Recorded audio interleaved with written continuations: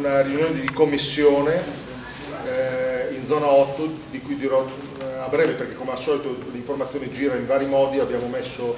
eh, diciamo, il verbale della, della, della, commissione della precedente riunione del Camp Eccetta eh, sul, sul, sito Partecipe nel Comune, su Facebook, c'è il gruppo Salviamo gli uomini di MacMahon, però non tutti hanno appunto eh, il PC e quindi è, bene fare, alternare questi, questi incontri, non tutti vengono ahimè alle commissioni del Consiglio di zona, anche se devo dire che l'ultima il eh, lunedì della settimana scorsa era, era molto partecipata in cui abbiamo parlato degli ormi di McMahon e non sarà l'ultima perché dopo questo incontro sicuramente almeno un'altra eh, dovremo farla perché poi questi sono incontri pubblici secondo me di importanza fondamentale per capire per me e per tutti eh, anche i colleghi consiglieri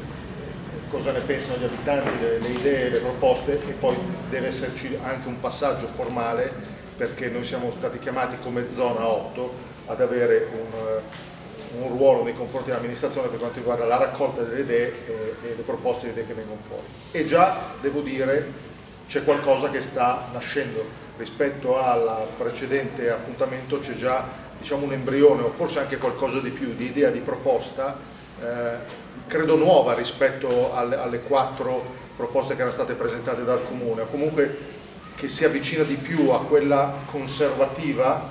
conservativa nel senso di conservare il filare degli alberi eh, di MacMahon, però con delle variazioni credo molto interessanti, perché tenete conto che uno degli aspetti eh, più delicati, più anche importanti che ci veniva data dall'amministrazione era ok, potete fare delle proposte, eh, delle idee nuove, però devono essere eh, da un punto di vista economico devono stare, devono stare in piedi. E non è una cosa sbagliata, diciamo, eh, consente di eh,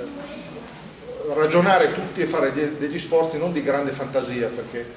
eh, la, soluzione più bella possibile deve essere poi realizzabile se no rimane solo una cosa astratta che non, che non vedremo mai e io credo che ci stiamo eh, arrivando. Eh, io credo, anzitutto vorrei ringraziare tutti eh, i deputati, tutto quello che state facendo, perché ha già ottenuto un risultato importante, ha portato l'obbligo da parte dell'amministrazione a fare attenzione a quello che non solo si dice ma si fa, non, non è scontato. Queste cose ci sono persone brave e competenti che lavorano, però la competenza, la bravura viene affinata se tic saltano le antenne perché ci sono molti cittadini come voi che sono attivi, che sono attenti, che hanno fatto sentire la loro voce e che si stanno muovendo e che hanno attenzione non solo a capire cosa succede, ma intervenire e dire a loro su che cosa sta succedendo. Quindi già questo ha messo, devo dire, comunque sia l'esito, io sono moderatamente ottimista, ma ha già messo la cosa su un piano diverso rispetto a molte altre cose che, che succedono in città. E credo che quanto si è avviato qua sia tutto sommato un qualcosa che può servire non solo a Via MacMahon ma anche all'intera città. Noi abbiamo rischiato e scongiurato, grazie alla maturità di tutti, un'assurda una contrapposizione tra il partito del Trump e il partito degli Olmi. Forse c'è qualcuno che vuole continuare questa guerra come facevano i giapponesi in Birmania vent'anni dopo che era finita la seconda guerra mondiale, che tiravano eh, i sassolini e altre cose, libero di farlo, però diciamo che già oltre, il livello della discussione già oltre, non si mette in discussione bisogna la necessità di intervenire per mettere in sicurezza la tranvia, l'armamento tranviario, l'oggetto è, la domanda da cui noi siamo partiti tutti è, ma è questo veramente rende necessario il sacrificio degli uomini? Io credo che siamo arrivati a un punto di ragionamento in cui la risposta è no e adesso eh, vediamo eh, in che modo ci arriviamo. Eh, nella relazione, quando siamo visti l'altra volta in Peccetta, vi ricordate era eh, da appena 24 ore disponibile sul sito del comune la relazione agronomica. Io ne abbiamo guardato anche una copia, c'è una copia per Campecete in zona, ma io per primo non avevo avuto modo di leggerla con attenzione, vi avevo riportato alcune cose che erano le cose che mi sembravano fossero eh, più macroscopiche.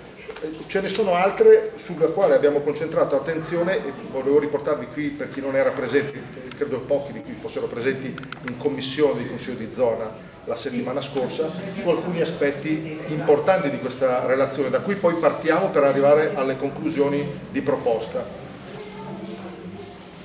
L'agronoma che secondo me, l'agronoma che ha fatto il lavoro eh, per conto del PM,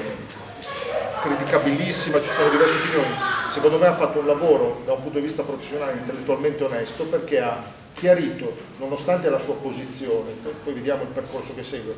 fosse quella più favorevole all'abbattimento, ma ha avuto un, un, percorso molto chiaro. Perché dice che cosa? A pagina 30 della relazione, non si ricordano, parliamo qui dei filari di McMahon, non si ricordano né sono registrati nel nella banca dati comunale rotture al piede o ribaltamenti della zolla di uno degli esemplari degli organi Cioè a differenza di quanto è, è successo nel recente o anche remoto passato, non esiste a memoria né nelle banche dati una rottura di uno degli ormi eh, al piede o ribaltamenti della zolla. Quindi questo significa che sembra contraddire le supposizioni della stessa agronoma che questi alberi stiano in piedi solo per le radici orizzontali in 30 cm di terreno. A pagina 61 dice che se e quanto l'apparato radicale di questi ormi abbia trovato condizioni idonee a svilupparsi sotto la lastra catramata, voi sapete che 40 cm sotto la strada delle rotaie c'è questa lastra catramata che aveva fatto supporre l'agronoma che dalla lastra 40 cm alla superficie quello era l'unico spazio possibile per le radici degli ormi. Però la stessa autrice di questa ipotesi dice ciò non si esclude a priori che gli alberi hanno potuto trovare condizioni idonee a svilupparsi sotto, anzi è plausibile se si considerano alcune sconnessioni localizzate e lo spostamento di alcuni cordoni. Quindi dice, nel mio modello teorico sul quale sto costruendo l'ipotesi di abbattere tutti gli ormi, sto dicendo che gli ormi hanno solo queste radici, però non è escluso che in realtà, ma io non posso vederlo, dice, gli ormi si siano sviluppati anche ben sotto questa lasta catramata. E questo giustificherebbe questa incredibile stabilità al vento e alle cadute di neve rispetto ad altre zone. E non lo esclude. Tuttavia, ecco, l'aspetto importante che l'altra volta ci era sfuggito però è questo, partendo eh, da ciò che si vede, quindi non da ciò che vi è realmente in profondità, questa relazione segnala il pericolo di stabilità degli alberi conseguente allo scavo. Lo scavo abbiamo sentito l'altra volta, c'era Pellizzoni, altri agronomi, è una ferita lo scavo impone una potatura delle radici. Sarà decisivo capire e in alcuni casi questa potatura delle radici dovrà avvenire, sarà di una certa importanza perché in alcuni casi le radici sono andate. Però questo pone un altro discorso, vediamo dopo chi farà questo lavoro di potatura delle radici. Lo fa l'uomo ATM con, con ramazzi scavatore o lo fa un agronomo? Quindi la necessità di ridurre la chioma, voi sapete la, la, nella relazione che abbiamo visto l'altra volta c'era l'ipotesi di abbattere quello che non si abbatteva, si riduceva la chioma perché sulla base di questo ragionamento la stabilità l'instabilità indotta è tale che o si tira giù l'uomo o si riduce la chioma. E la somma dei due interventi, amputazione eh, parziale dell'apparato radicale, causa scavi e drastica potatura, si traduce in un notevole danno per l'albero, per cui si diceva tanto vale tirare via. Ma tutto questo, come lo si è visto dalla volta commissione, non sulla base di un'indagine strutturale dell'albero, ma sulla base di simulazioni. Io ipotizzo che la situazione sia questa di sotto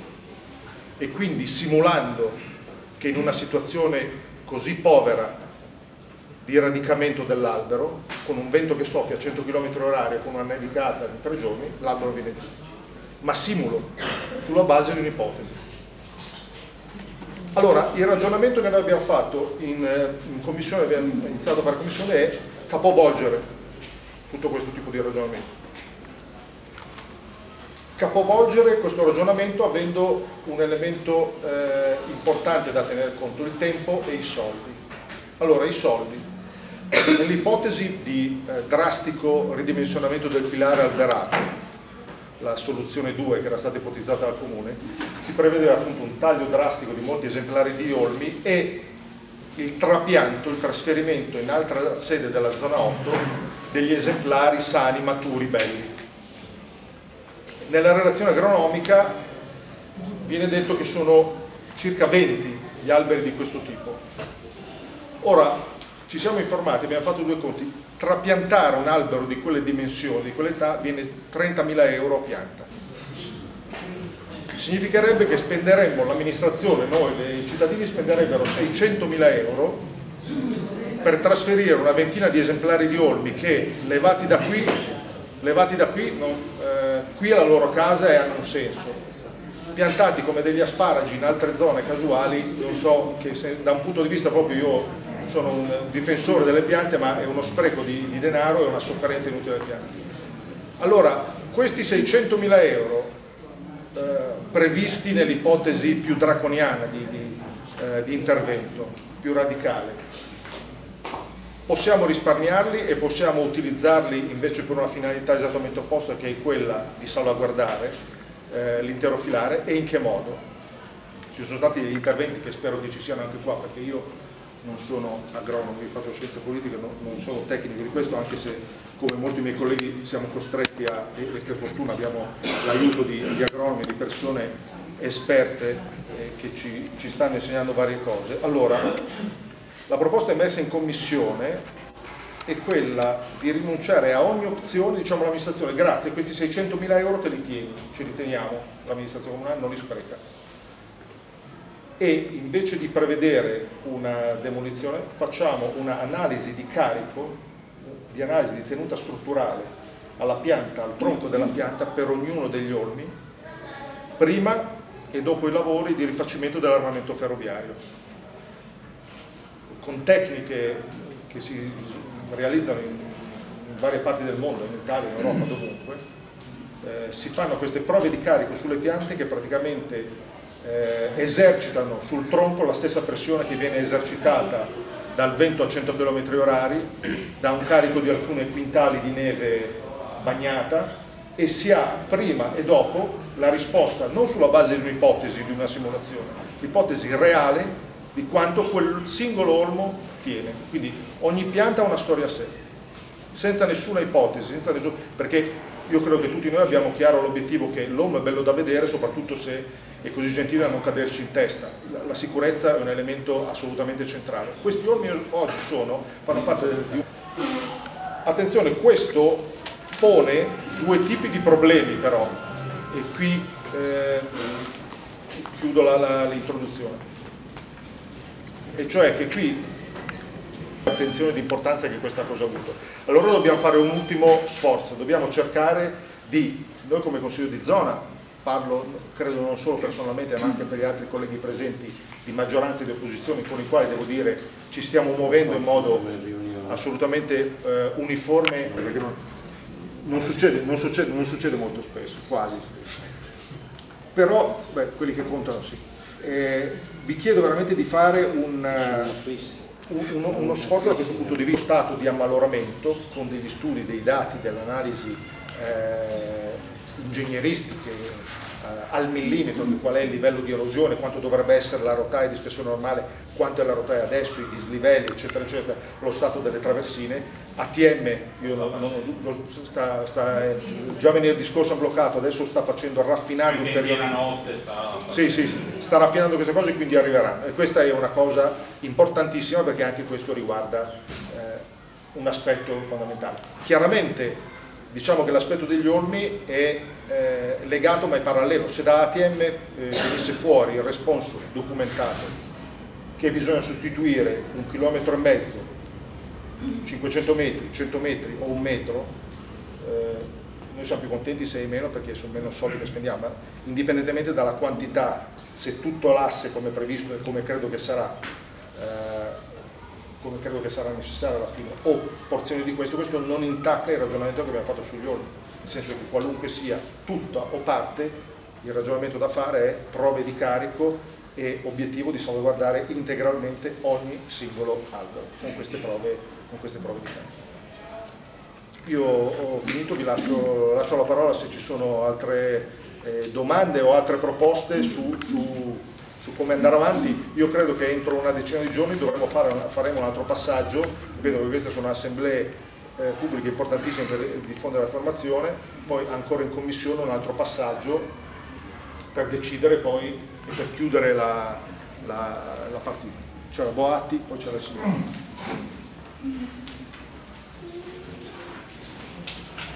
Grazie mi sembra che vada nella direzione giusta e vorrei però cercare di precisarla un po' nei dettagli. Allora, mm, la, la prima osservazione, la, la, ripeto anche se è antipatica, perché una valutazione insomma, non, non, positiva o comunque dubitativa diciamo. perché se così non fosse non occorrerebbe fare niente basterebbe stare sul binario e avanti sì, la, la relazione agronomica che è il punto da cui si parte ha due problemi un problema che è relativo al fatto che è stata commissionata non dal comune ma da ATM. Infatti la prima riga dice ATM ci ha chiesto di rifare tutta la linea. Stavo facendo adesso le prove per dirci che è vero che va rifatta, voi capite che c'è un po' di contraddizione per Il secondo punto sul quale mi permetto di dare giudizi, perché io sono architetto urbanista, non agronomo, però la mia parte di lavoro la so fare. Eh, lì dentro la relazione agronomica ci sono delle valutazioni eh, relative all'opera pubblica da fare, quindi tipo architettonico, ingegneristico, ditelo come volete, che sono insomma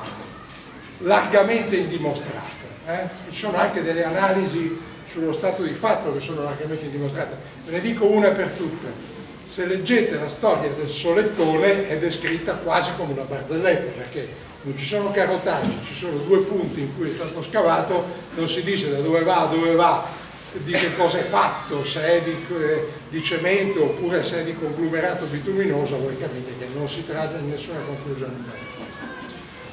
Fine, non voglio prendervela più che tanto. Però questo è sufficiente a descrivere la necessità di un approfondimento. Eh? Poi quando avremo le prove ATM eh, potremo, io, io, stesso dirò di più su quella relazione, per dire eh, ci sono dei punti specifici in cui non va e ce ne sono Quindi sono molto d'accordo sulla proposta che sta facendo Federichini, non i cittadini singoli poveretti, ma il Consiglio di zona si prende cura di rappresentarli e propone certi approfondimenti. Allora io mh, mm, userei per descrivere questi approfondimenti eh, non tanto il, il, termine studi, ma cantiere della conoscenza, perché lì ci vuole un piccolo cantiere per arrivare alla conoscenza. La conoscenza è, è tutto aperto, squadernato, si studia, si fanno magari solo delle misure, invece lì non basta questo, occorre un cantiere della conoscenza, cioè un piccolo cantiere, campionario, eccetera, finalizzato a capire meglio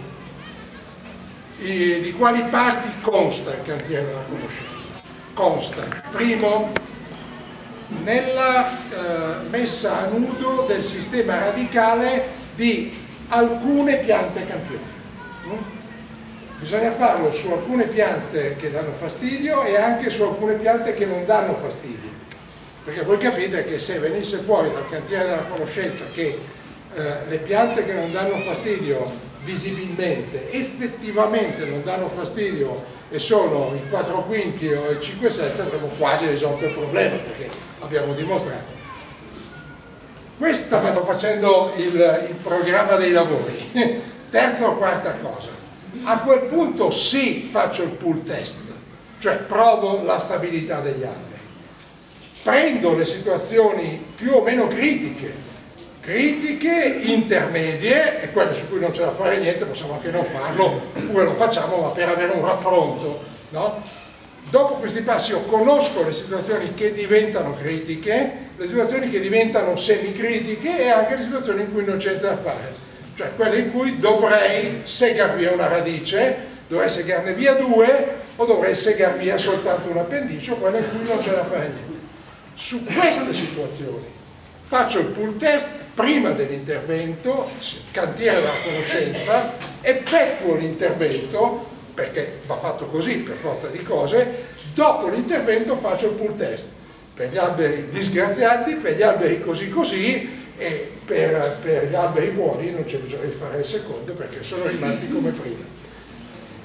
Questo, a questo punto confeziono il progetto, una proposta di progetto ragionata. Allora, la proposta che ti faccio io è che per la prima volta nella storia di quel che non è il decentramento di Milano, il decentramento, tu hai fatto la proposta, io la sto semplicemente, eh, gli sto dando un po' di ciccia in più, ma sto dicendo esattamente la stessa cosa, per la prima volta il decentramento invece di essere cinghia di trasmissione delle, delle, decisioni centrali prenda lui in mano la progettazione di un intervento che ha un forte carattere di rilevanza locale. E quindi dal basso e non più dall'alto queste sono queste sono le indice che volevo proporre